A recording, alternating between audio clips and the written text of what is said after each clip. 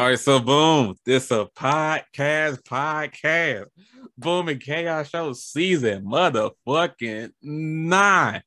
Oh man, we done took another long ass hiatus. It's been like a good three and a half weeks. But if y'all ain't peeped the color scheme and the theme song, we had to make this uh, NWO Wolfpack theme this season to pay tribute to Scott Hall. So instead of this being the typical, Hell yeah. instead of this being the typical uh, Lennox Clays and Sonny Weems show, we had to turn it into the Juventud Guerrero and Lex Luger show. oh man, I, I'm just waiting until I'm Hakeem Haddadi, nigga. That's that's that's all.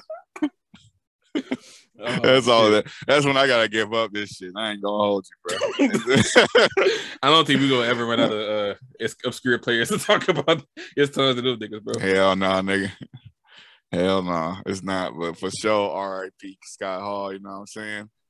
Shit, this This this yeah, season's gonna be the Juventud Guerrero and Lex Luger show. So we get we gotta, but y'all don't understand. Throughout this past three and a half months, we didn't both came up with tons of shit to talk about. If anything, the stuff we talk about in season ten gonna be shit that we didn't had like in our notes from this season that we just couldn't get to. Hell yeah. Exactly. And it's too much shit to talk about. I don't know what the fuck going on in the rap world. Every two days, somebody got cheated on and somebody getting depressed and shit. Is this this shit's getting crazy. Man, speaking of not what's going on, bro, the streets don't know what's going on with you. What's been going on with all the Kulture that dude and been going for two months, bro? You dropped your Isaiah Rashad video, and other than your song that you dropped recently, you've been you've been gone since then, bro. What's going on? Um, well, uh, I was gonna share this in a in a video, in a solo video, and kind of, you know what I'm saying, talk about it somewhat, but uh I I I feel comfortable talking about it here. Um so honestly, uh where I'm at, and I, I'm not one to, you know, be into superstitions and shit like that, but uh I I didn't like the vibe that I was getting out of my community. I didn't like the vibe that I was getting out of my surroundings. Um, I didn't at all, you know, feel at all like I was progressing in life. You know, it, it, life is all about progression and happiness. And Hey, listen, bro. I'm so I'm so glad that you said that. That you brought up the progression and you didn't feel like you was progressing in life thing. I'm glad that you said that because you you already know I'm not saying this to be mean, but the very beginning of your answer, you was talking about your surroundings, your neighborhood. I in my mind, I was like, "What the fuck does that have to do with your YouTube channel, bro?" I, I didn't want to say it. I didn't want to come off as like mean as fuck, but in my mind, I was like, "Bro, like, what what that got to do with your YouTube channel?" oh, for sure. Yeah. No, um, life, if my life ain't going well, that means my YouTube career can't That makes perfect on. sense, though, for sure. Cause it's like, uh, why am I about to put on a smile? And then like when I turn off the camera, like I'm just about to go through hell. Like I rather just go through hell and then get myself in a better place so that YouTube can also flow as well. Because truth be told, a lot of times that I was doing YouTube, a lot of the videos that I did do, like I wasn't in a good place. I wasn't in a correct mindset or anything of the sort. You know what I'm saying? So it was like I had to get I had to get off and away from everything. Like I wouldn't text nobody. Like I, I I didn't cut nobody off, but by me not saying shit, people just took it upon themselves to just dip out my life and shit. And you know what I'm saying? I'm not a I'm not a deceitful, nasty person like I used to be. And I, you know what I'm saying? Most people wouldn't even admit that they used to be a specific way, but like usually when people would leave my life, I would just spite the fuck out of them and shit like that and be like, yeah, well, I'm succeeding in spite of you, bitch, blah, blah, blah. You Yeah. know, like it's not, it's not even like that, man. Like I understand, you know, like, you know, you don't want to be around somebody that's going through hell like all day, every day. You don't want to hear about, you know, people don't want to hear about you bitching all the time. And then when you're not talking to them, it's like, you know, they don't, some people don't feel compelled to be that hand reaching out to pick you up off the ground. It's just like, okay, well, hit me back up when you want to do something fun type shit. You know what I'm saying? right, it's like shit. Um, the thing, the thing is real quick before right- you the thing is real quick before you continue like the second part of what you like you just got done saying because that's how I am when it comes to like me and my own homies and my friends because I'm I'm somebody that believes if a person actually cared about cared about your opinion on something and they actually like trusted your word on something then they would ask you like for advice or for help like if one of my homies like needed my help for something they would be like hey, yo Amir I gotta talk to you about something serious like yo can you like I'm going through some shit can you help me with this Cause and that because the fact that you reaching out to me to me that shows that you like value my opinion. You actually need help from me. But people who just like how can I phrase this the best way? Like people who just who they, who they, they don't say shit to me, like they they upset, like they ain't talking to nobody and they don't say shit to me. I'm gonna feel like ain't nothing wrong with you. Either that, or I'm gonna feel like you don't care about my opinion. Because if you needed my help, you would have asked me. Like, you know what I mean? If a person is like sitting right. back waiting for me to say something to them, then it's like, well, clearly you don't care about my opinion that much. Because if you want to talk to me, you would have told me what's going on. Right, right. And honestly, like how my life has been, like I know I've had some go tos, and you know how it is with go tos. Like they hear, they hear, yeah, they like they go, they they go, like you go right to them eh, first for every problem, and it's like, oh fuck, like this nigga hurt. Oh, here we go. Like I gotta get my notepad out to be this nigga. So oh, fix it. Here we go. What's wrong yeah, with this time, I got, uh, yeah, I gotta fix your problems once and fucking again. Like I, I've been like that with multiple people, and to be fair, um, with some people, it gets redundant because their problems are more reoccurring than others. And with some, it's like it happens every so often. So I feel more, like, you know I'm saying, free and patient with those people. But I learned how to just take it all in stride and to learn how to just like be like, okay, you know, like it, it is what it is. People are going to go through hell. It, it got to a point in my life where I was like, that happiness forever shit is a fucking facade. Oh, no one's sure. happy no one's happy forever. No one suffers forever. You're suffering so you can find out how to be happy, and you're happy only because you've learned how to how to uh, oversee suffering. You you know what I'm saying? You go through pain, and what and you have to you have to go through pain to know how to heal. You're not just gonna heal not going through shit. You just going you, you know what I'm saying? You gotta scrape your damn knee to know when you know what I'm saying. Yeah, it's. I it's, got two it, perfect points to say to that. One of them One of them may even be an unpopular opinion, but like you kind of say, everybody goes through ups and downs, happiness and sad times. Like, ain't nobody happy all fucking day, every day. I don't know if it's an unpopular opinion or not, but I don't trust people who are like that. People who are just happy all the fucking time. They they quote unquote are always in a good mood. Those type of people, I don't I don't like being around those people. Like I ain't trying to make it seem like that I'm embracing the devil and no shit like that. But right. people who people who are just always preaching like positivity, they always happy about everything, like and they make it seem like they have no issues in their life. Those are the, people I don't the trust. saddest. Yeah, they be the saddest. But that's the second point I was gonna make. Those are the people that be end up committing suicide and shit. Like the Robin Williams stuff of the right. world. The people who be the happiest, the most cheerful, you would never think nothing wrong with them. Those are the people where put put them in their house by themselves, they're gonna be depressed as a motherfucker. Hell yeah. So I don't I don't trust people like that, bro. Like it may cause another thing that I preach in life too and I learned this shit back in high school. It don't matter who you are. Nobody in the world is going to get along with everybody that they meet. That's Hell the bottom yeah. fucking line. You can be the nicest person, the sweetest person in the universe. You can be the meanest person in the universe. It don't matter. There is somebody you're going to meet at some path in your life that's not going to fuck with you. It might be a deep reason. It might be a very minute and petty reason. But some people are gonna be like, eh, "Nah, I don't, I don't fuck with Amir, bro. Or, nah, I don't fuck with Corey." They're gonna have a reason why they don't like you. And and funny enough, like I've come to the realization, and it, it, hit me real late. I'm 25 years old, so this shit hit me super, super fucking late. But loyalty is both underestimated and overrated, and I, I have shared oh, this. This is a new one for me. I'm gonna need you to explain this. This is a new phrase. Yeah, this. Yeah, uh, it's overrated and it's underestimated. You could give years to some people, and they still will they will feel less compelled to help you out over time no matter how strong your bond is True it doesn't matter hell. it doesn't matter how fucking long like like I, I got somebody that I've known for fucking or, or shit. I'll use my cousin for instance. You know what I'm saying? I don't know if he listens to the podcast anymore. I've known that man my entire life. We've basically been boys for forever. We don't fucking talk anymore. We we basically not even, you know what I'm saying? I don't associate myself with that man. He doesn't associate himself with me. Loyalty is overrated. That man has checked on me more times than I can count, and I've checked on him more times than I can count. But what does that mean now? If, now that we're not talking to each other, all that shit you could say was for nothing, but not really, because we take these lessons and and and we and we put them, we connect the dots with everything. It's underestimated because you don't fucking know who to trust anymore. You don't know who to fu- you don't know who to trust. I go up to a new person and give that motherfucker five hundred dollars and tell him hold that shit till tomorrow.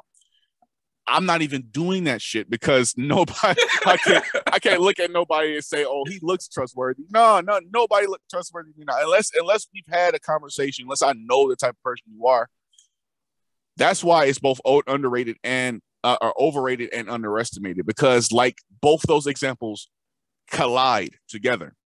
I can know you and you could still be like the stranger that just takes my money and fucking dips off. You know what I'm saying? Like right. it, it, yeah, that's like it is with my community. This is exactly why I've been so disconnected from YouTube and social media. When I see my phone give me the notification saying that, oh, you uh you've only you've only used your phone for a combined four hours and 31 minutes. I was like, yeah, I ain't been doing shit. I have, I wasn't doing anything. I wasn't talking to anybody. I wasn't texting anybody. I wasn't on the phone with nobody. Uh, social media became a less of a, you know I'm saying, of a commodity in my life. Uh, you know, it was just straight work, sleep, and work, eat. Barely even eating. Like, I think it was a point in my life where I was like two, like, look, I think last month, as a matter of fact, man, I was like 260 pounds. I never hit that mark before. 260 reaching to good damn near 270. There's a lot of factors into that, but shit. Not because my life because you're somebody that's uh that's like currently going through this, or at least you were like a month or two ago. I can. This is a good question to ask. so when you reach those periods where you're just like, I'm barely on the internet, I'm barely interacting with folks, I'm just to myself. Like, what out of a hundred, like what percentage would you say that was helpful for you, and then it was like detrimental to you? Like, what would you just full blown enjoying that shit? It was like, yeah, but I don't need nobody, all that kind of shit or were there points where you was like, damn, I miss making YouTube videos or I miss talking to people? Like what percentage was like you was like you enjoyed it and then it was like detrimental, would you say? I say I I'll give that shit eighty percent. Eighty percent enjoyment. Eighty percent. It those or, moments or, you was hitting that twenty percent. How was that? How was that feeling? Were you just thinking about some of your friends, like, like, damn, like it's kind of fucked up. I don't want to talk to them. Were you thinking about YouTube, like, shit, man, I actually miss making videos. Like, what was that twenty percent feeling like? Um, not even. It was more harmful. Like the the eighty is helpful. The the twenty was harmful, and I say that because I could take a break from YouTube whenever and not feel, you know, I'm saying too bad about it because I know most of my uh subscriber base is gonna wait like I've only really lost five subscribers. That's that's cool. Like I'm I'm fine with that. That just means them people didn't need to be here anyways. Um it was helpful because I learned how to make my myself my own best friend. And people have so much reliance on social media and other people's words and opinions and shit. People will go to some social media pages sometimes to look up quotes to help them go through uh to help them in life and and, and you know what I'm saying captions and shit. yeah and, and download calm apps and shit like that to to help them sleep at night it's like I I didn't want to do that like if I can't wake up and be my own calm app if I can't wake up and be my own quote and say certain shit to make myself feel better like I'm just gonna keep on going through those moods because those things aren't gonna be around forever. Them people don't know who you are. They're just saying things to everybody no, I know me. I know myself better than anyone on this planet. So if I can't make myself happy, who the fuck? Why the fuck do I trust everybody else in any in any other source to make me happy? That, that shouldn't even be a thing. So it was 80% helpful because I realized, like, yeah, like I, I am now like with this break, with that break, I became my biggest and best out. I've been making money. I've been making good money. I've been Talk your shit. I've been, you know what I'm saying? I'm making good money and spending it on great investments. I'm to move into another spot on the 27th and with money that I, I splurge and put down on that shit and paid for myself.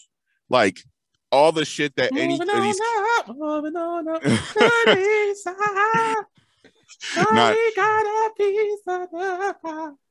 I was about to do the little uh the claps, but